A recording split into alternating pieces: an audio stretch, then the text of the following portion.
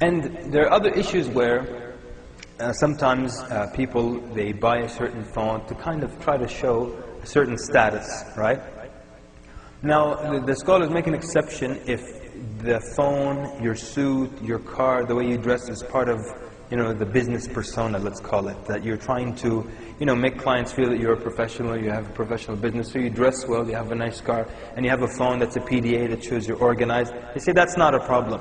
But sometimes people just try to show off uh, and try to make some kind of uh, a statement using other objects or objects that they, that they own. So you'll find someone who has an iPhone, which is supposedly the coolest phone, right? Yeah? So then the guy has an iPhone, but he just wants to pull it out of his pocket and put it on the table ah, for no reason, just to show people, I've got the iPhone, you know?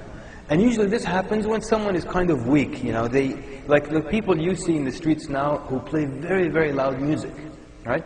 These people, they don't have hearing problems. They're actually doing it for you.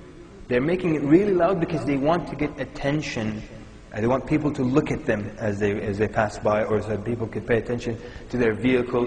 Because they, they don't have anything maybe up here or enough iman, so they feel nothing is great about them except what they have, what they own, what they possess. And this like, uh, I always give the example, one time we're, we're going to Jum'ah, so we're four brothers, four big grown men, and we're going to Jum'ah prayer.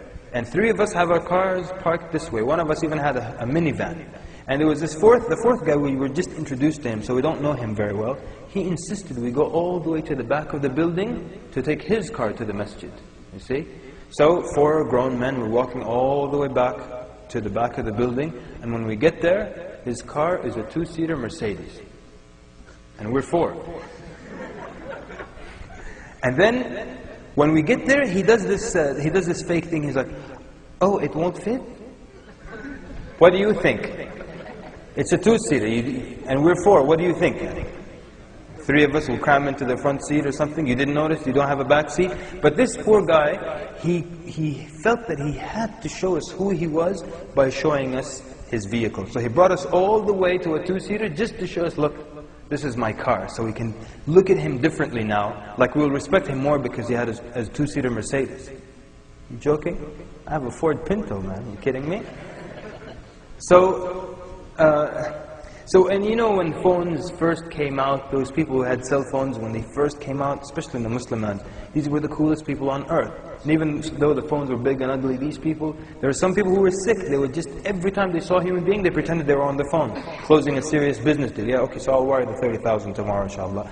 Every, and there was, I mean, every time a human being passed by, they did this.